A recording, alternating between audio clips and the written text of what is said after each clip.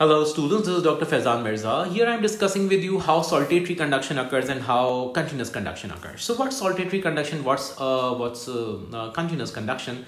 To understand this, let's go to the basics here. So uh, once we know this is this is the cut section of an axon cut lengthwise, you can see the internal region of the axon is having a negative charge because of the sodium potassium pump functioning. Three sodiums go out, two potassiums enter by active transport. So the internal region becomes negatively charged. Inside the cell, there is a low sodium concentration and a high potassium. Outside, there is a reverse condition, which is having a high sodium concentration and a low potassium. And since sodium potassium pump is working by active transport, it keeps sending three sodium ions out and brings two potassium ions in. The net deficit of one positive charge uh, inside cause a relatively negative environment to be established into the cell. Uh, now this this this uh, axon here which I'm drawing here this is a myelinated axon you can see Schwann cells which are wrapped around and they form myelin here and there's node of Ranvier as well. So uh, why we know we know that myelin sheath speeds up the neuronal communication.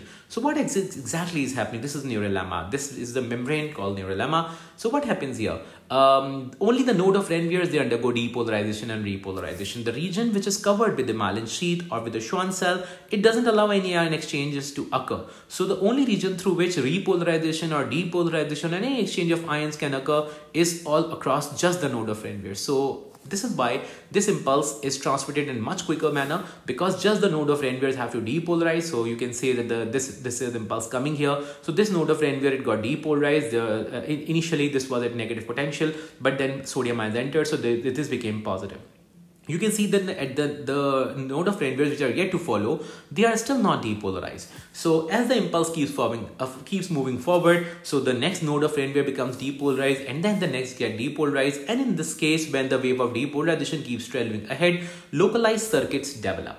When localized circuits develop, what are localized circuits? Local circuits are the ones which are being developed because of the charges which are opposite uh, at adjacent node of Ranvier. If it's a positive charge here, there's a negative charge here. If it's a positive charge here, a negative charge here. Similarly, a positive charge here and a negative charge here. So this this caused the uh, localized circuit to be established between two adjacent node of Ranvier. And when the localized circuit establishes, so this localized circuit caused the uh, impulse to move ahead in forward direction.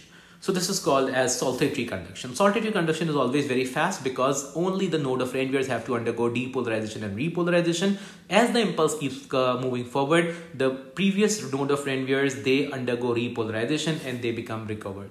What is continuous conduction? In continuous conduction, we do not have myelin sheath wrapped around the axon, so the entire axon is, is exposed and uh, we have every part of the membrane undergoing depolarization and repolarization. Um, there's there there's no concept of local circuits. Every part of the membrane must undergo sodium ions entering and potassium ions leaving and so on and so forth. And this obviously takes a longer time. That's why unmyelinated axons uh, which uh, which which which allow continuous conduction to occur they they transmit much slower the impulses as compared to a myelinated axon which allows saltatory conduction to take place so here I am discussing with you cases for this is again the same localized circuit shown to you. So the localized circuit shows that sodium is entering at one node of Ranvier and potassium is going out and uh, just across this a local circuits develop and, and the impulse keeps moving ahead. So impulse moves ahead and again the previous node of Ranvier keeps uh, allowing potassium to go out. Uh, this this node of Ranvier is becoming deep is, is becoming repolarized whereas this one is depolarized right now as the local circuit from this node of Ranvier will jump to the next node of Ranvier, we'll have potassium ions leaving from this node of Ranvier and sodium ions entering into the cell from this node of Ranvier. So this is how the local circuit just keeps moving ahead and saltatory conduction is always the fastest. So when the membrane is not actually generating any action potential, we have the membrane potential staying at minus 70 or minus 90, whatever the RMP value is. So it stays there. If the stimulus here is there, we see a peak of depolarization and then repolarization. This is how the stimulus can be differentiated from no action potential and the stimulus being there.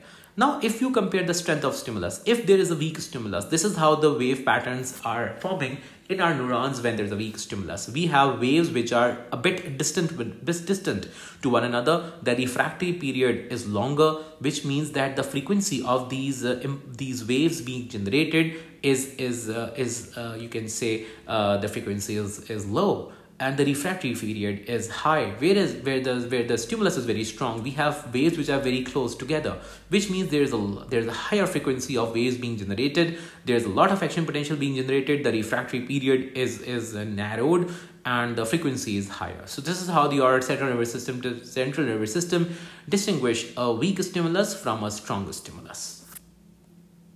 Here you can see the uh, effect of uh, effect of increasing the diameter of the myelinated axon in micrometer. So if you increase the diameter of myelinated axon in micrometer, you have a linear relationship in conduction velocity. So as the conduction velocity increase, sorry, as the diameter increase, the conduction velocity increase linearly because there are more channels available for ion exchange to occur so that that promotes a very quick uh, quick exchange. And since we only have the node of Ranvier's where the exchange is occurring so this uh, this this rises this lean it's linear rise.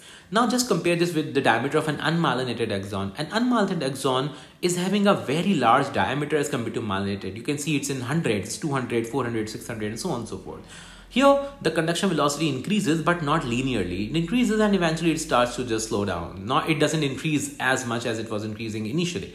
So why is this so? Because as the as you increase the diameter, there are no more number of channels there which are there. So the every every membrane protein, every channel must uh, must allow ions to enter or exit. Only then the impulse can go ahead from that point to the next point. That's it from my side. Thank you so much.